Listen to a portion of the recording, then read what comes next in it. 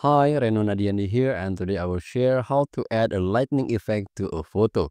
First go to Canva and I will choose Instagram post size and then upload your photo. For example, I will choose this fighter and then I will remove the background and add a black background here and then I will increase the size like this. So as lightning mostly described as blue, so I will change this photo into a blue color.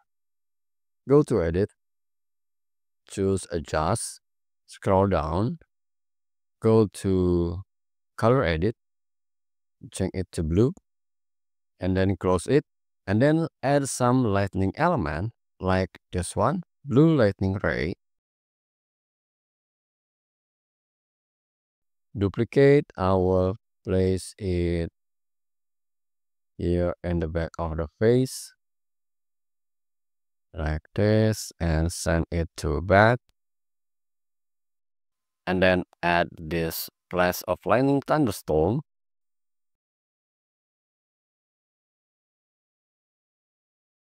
rotate, I will place it here and also send to back.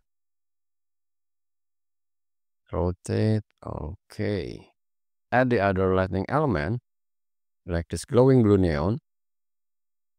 Reduce the size and I will place it here. Duplicate, place here. Duplicate again, place here duplicate to be place here and duplicate again this one place here rotate and then I will duplicate this one. I want to place it here rotate and then I will add this lightning flicker. I will put it here okay. And I will duplicate it and place it here. Reduce the size place here. And it's something on the face and I will add more of this lightning. Let's place it here.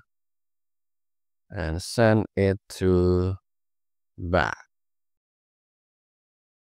All right I will duplicate it, place it and rotate, place it here and send to back.